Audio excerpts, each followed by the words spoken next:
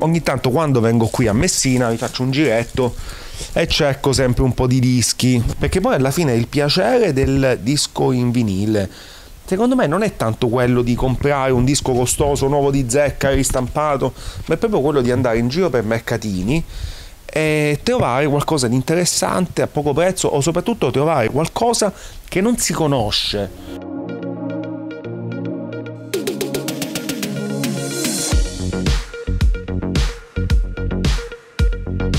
Il Vinyl Fest è una vera e propria festa perché all'interno di questa manifestazione ci saranno i migliori DJ della zona e anche da fuori che suoneranno vinili ultra rari.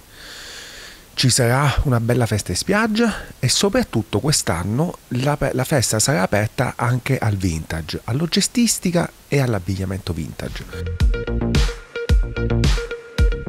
Lo scopo fondamentale del Messina Vinyl Fest è quello di riunire tutte le eccellenze siciliane, insomma almeno della Sicilia orientale, nell'ambito del vintage e del commercio dei dischi.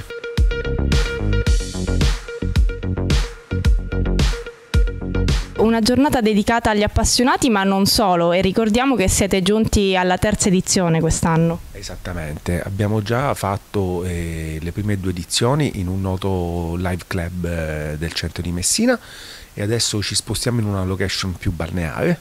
Eh, al sunset. Francesco, tu sei un messinese però vivi fuori, cosa ti fa tornare di tanto in tanto a Messina e cosa ti fa portare avanti iniziative di questo tipo? Io vivo da quasi vent'anni a Roma e mi piace assorbire eh, cose belle che imparo fuori dalla mia città e cercare di portarle e cercare di portarle a Messina.